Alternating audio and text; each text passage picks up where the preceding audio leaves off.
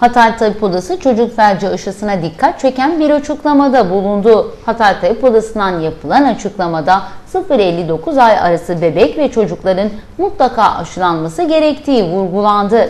Hatay Tabip Odası Yönetim Kurulu Dünya Sağlık Örgütü'nün Suriye'de çocuk felci virüsünün tespit edildiği uyarısıyla Hatay'ın da dahil olduğu toplam 7 ilde çocuk felci aşısı uygulamasına gittiğini kaydetti. Konuyla ilgili yapılan yazılı açıklamada 18-24 Kasım 2013 tarihleri arasında 0-59 ay arası bebek ve çocuklara aşılı olup olmadığına bakılmaksızın ağzından iki damla şeklinde aşı yapılmasının gerekliliğine dikkat çekildi.